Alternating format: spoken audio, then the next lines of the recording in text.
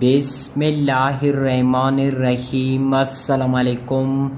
آنے والے ایک ہفتے کے دوران ملک بھر میں شدید گرمی، حبس میں اضافہ ہونے کے بعد دوبارہ مزید بارشوں کی بڑی خبر آ گئی۔ کہاں کہاں پر کب سے اس کے متعلق بڑی اپڈیٹ لے کر حاضر ہوں۔ ساتھ میں چینل کو سبسکرائب اور ویڈیو کو لائک اور اپنے شہر کا موسم کا حال جاننے کے لیے کمنٹ میں نام بتائیں۔ بہت شکریہ۔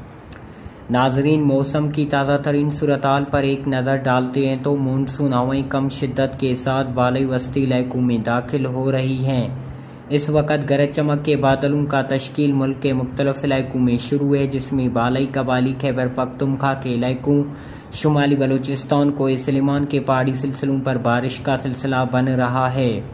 آنے والے گھنٹوں بعد شام رات کے دوران خاص طور پر جنوبی پنجاب، شمالی بلوچستان، جنوبی خیبر، پختونخوا میں بارش کا زیادہ زور ہوگا، جس کے نتیجے میں وہاں پر کوئی سلیمان راجن پور بکھر لیا کوٹا دو بارخان ہرنائی لورا لائی سے بی کولو میں تیز طوفانی ہواؤں شدید آندھی گرج چمک کے ساتھ تیز بارش، بعض مقامات پر موسلادھار بارش کا امکان ہے۔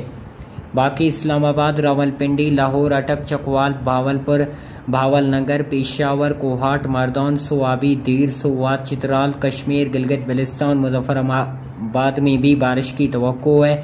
کراچی سمیت سندھ اور بلوچستان بھر میں موسم خشک رہے گا۔ موجودہ بارشوں کا سسٹم مزید آنے والے چوبیس سے اڑتالیس گھنٹوں کے دوران ملک کے بالی وسطی علاقوں پر اثر انداز ہوتا رہے گا۔ تیز سی موسلادھار بارشوں کا امکان ہے۔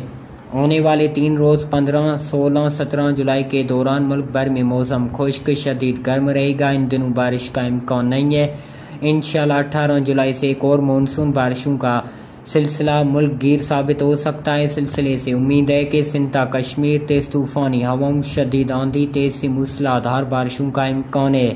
مزید اپنے شہروں کا موسم کا حال جانے کے لیے کمنٹ میں نام بتائیں۔ بہت شکریہ۔